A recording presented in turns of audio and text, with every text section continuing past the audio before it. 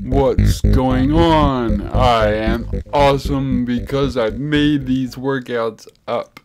I made all these workouts up. Now you see in this example, you have to lean back when you're doing the the exercise, and I came up with this. Um, no one else did. I mean, how how is that possible?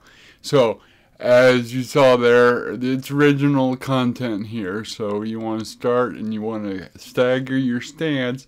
So when you actually complete the movement and, and you want to do it fast because, you know, and staggered because, just because, you just listen to me because I know what I'm talking about. I know what I'm doing. So I'm, re I'm re-establishing my stance. I'm bending at the knees a little bit.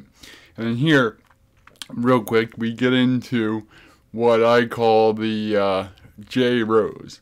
So you need to pull back into your scapular region and you actually want to abdominally abduct your scapula together and push your bones together and that'll actually expand your chest if you're doing chest day. So you want to do these every day. Make sure you do these every day. Okay. Uh, you can even do these when you're doing a chest day. You can do them when you're doing a bicep day. You can do them whenever you want to do them. You can even do them like the guy over there who's swinging around. You can do them on those days too. And then you jump right into a non-assisted. Now, there. Never mind what I'm doing with my with my leg there a non-assisted pull-up and you want to angle your body and flex your core because that's going to make your pull-ups that's that much more easy and effective for you to do and to target your back.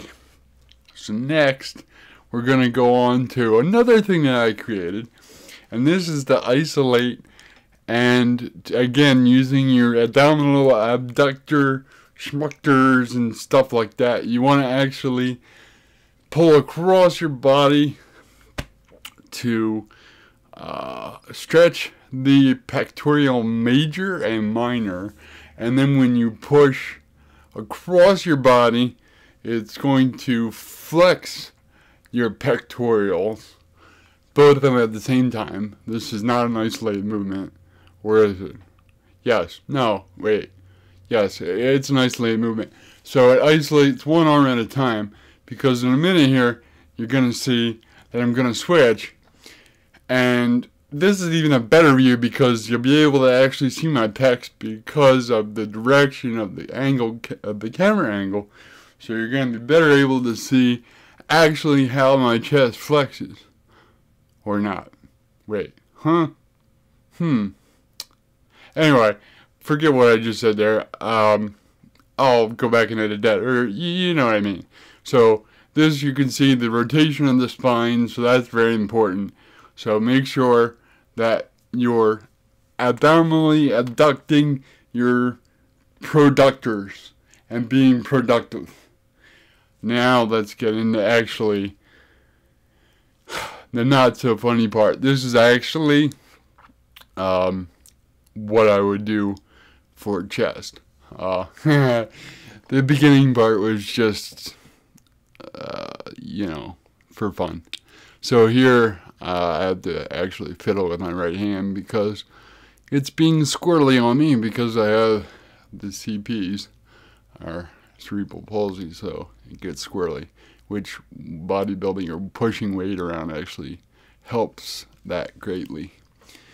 So I had to fix my hand on the lower portion. The reason I'm doing the lower portion, and this is real, this part's real, is it's a little less stress on my shoulders. Um, been having a bit of shoulder issue uh, with the last few months um, of working out. So again, because I'm in the gym late night, uh, I, I essentially own the gym at this hour when I go. Uh, it, it, keeps me in check in a good way because I can't push it. I can't, I don't have a spot. So I can't be stupid. Uh, and I'm too old to be stupid. Um, so here, uh, frankly, I'm just warming up again. My warm up is with the machine, just to get the blood flowing, get the blood into the into the muscles. Here, I'm using the Smith, and it's not one of those Smith that's on an angle; it's straight up and down. So I'm just doing reps, and right here you can kind of see how I'm taking my pinky off the bar. So I'm trying to concentrate on actually using my chest to push the bar versus my arms, i.e., triceps, shoulders, uh, even though I know it's a compound movement, um, not daft. So, uh, at this point, this is the where I maxed out again because I didn't want to overdo it. I just put three tens on either side. Um, and of course, you need that swing juice, right? All right. Um, so, I mean, the should I add that I used to be in the military because I own a Jeep, and, or that I helped the Eagles win the Super Bowl because I've been I, I wear a Eagles uh, shirt? Would you believe that? I, I, I, I hope not. So, anyway, uh, the last few here are a bit of a struggle because I actually haven't been in the gym for about three and a half weeks, four weeks. And I gave up trying to put it on that uh, upper notch. So I had to squirrel my way through here. So if you like this, give me a like, give me a follow, do all that stuff with the thumbs up button, and um, I'll catch you in the next one. I hope you enjoyed this and had some fun. I had some fun making it.